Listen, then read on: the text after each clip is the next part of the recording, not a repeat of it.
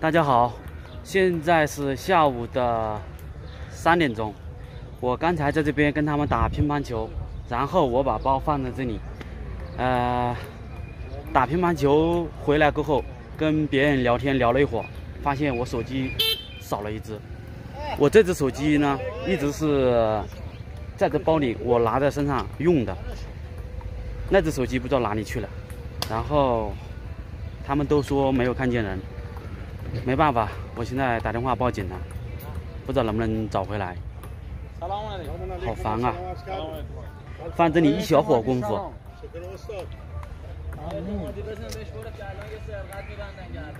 看着都很友好。哎呀，等一等吧。我的手机呢找到了，当时是怎么找？是我自己找到的。我在那边报警了，报警过后，我过了一会儿，我用手环去找我的手机，是小米手机嘛。然后我就听到声音了，在一个垃圾桶里面。然后我就很生气，我还骂了一句。过了一分钟过后，警察就来了，警察就问我这个问我那个，然后现场什么情况，什么文全部都没有问，直接把我带到派出所。带到派出所过后。因为我不懂啊，呃，他说了一些什么什么什么，我不太懂。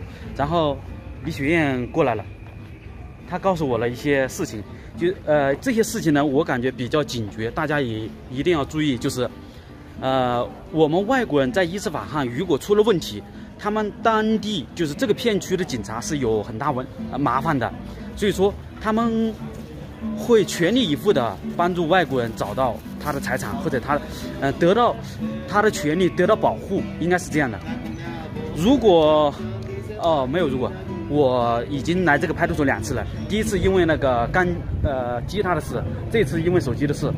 他说，如果我再出现一种这种情况，我不小心又出了问题，给他们带来麻烦，他会赶我离开伊朗这个国家。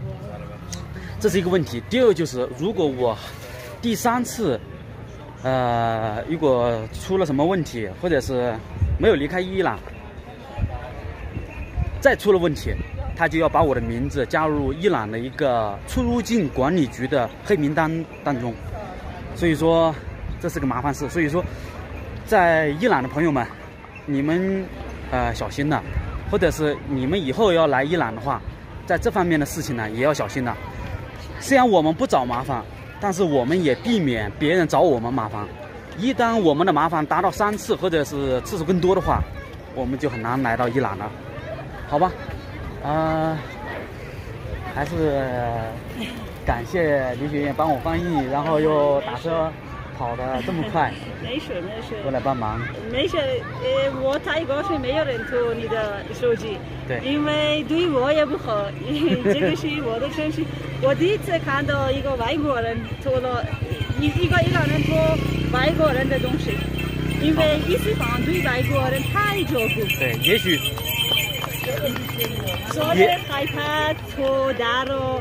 外国的，所以我泰国是你找到的手机。也许，呃，伊斯兰罕很少这种情况，啊，好吧，也没什么好说的，就是希望同胞们在伊伊朗，所以小心一点吧。今天的视频就拍到这里了，再见。